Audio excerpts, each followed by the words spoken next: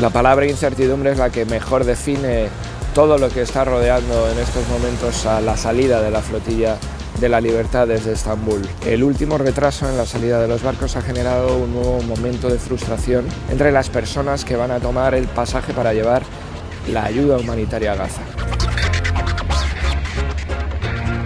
Nueva fecha que se propone es el viernes y parece que esta vez sí puede ser la de la luz verde definitiva para la partida. Hasta ahora se había hablado de cuestiones técnicas y de papeleo para mantener los barcos en el puerto, pero la percepción generalizada en la sede oficiosa de la flotilla en Estambul es que en la última semana ha habido fuertes presiones internacionales para evitar que los barcos salgan de los puertos turcos. Un reporte de que SET 12, una televisión israelí, indica que los preparativos para asaltar la flotilla por parte de la unidad Sayetet 13 incluyen armamento moderno como drones o granadas eh, aturdidoras. Pero el escenario de asalto no es el único que se plantea si la flotilla llega a salir al mar. El bloqueo marítimo es otra de las posibilidades con que se ha especulado desde la prensa internacional. La incertidumbre de la partida sumada a la propia incertidumbre de qué pasará si finalmente zarpa el barco, es atajada con un entrenamiento obligatorio en la no violencia que todos y todas las personas del pasaje deben llevar a cabo para subir al barco. La consigna es no resistirse a una posible detención, permanecer en calma, respirar,